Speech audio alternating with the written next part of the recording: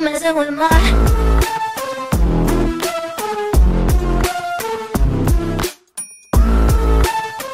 Leute, ich wollte mich erstmal entschuldigen, dass diese Woche kein Video kam. Und es tut mir auch wirklich leid, dass ich jetzt nur ein kurzes Informationsvideo bringen kann.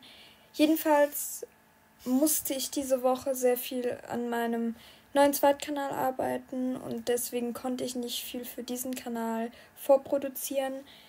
Und ich hatte auch einen Neustart auf meinem PC, weswegen Videos, die ich vorproduziert hatte, nicht mehr da waren und ich sie neu aufnehmen muss.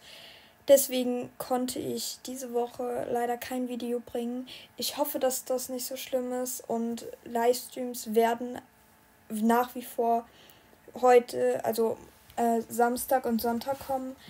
Ich hoffe, dass ich das hinkriege und ich wünsche euch noch einen schönen Tag, schönen Morgen, schönen Abend, was weiß ich, was ihr habt. Und wir sehen uns beim nächsten Mal. Tschüss.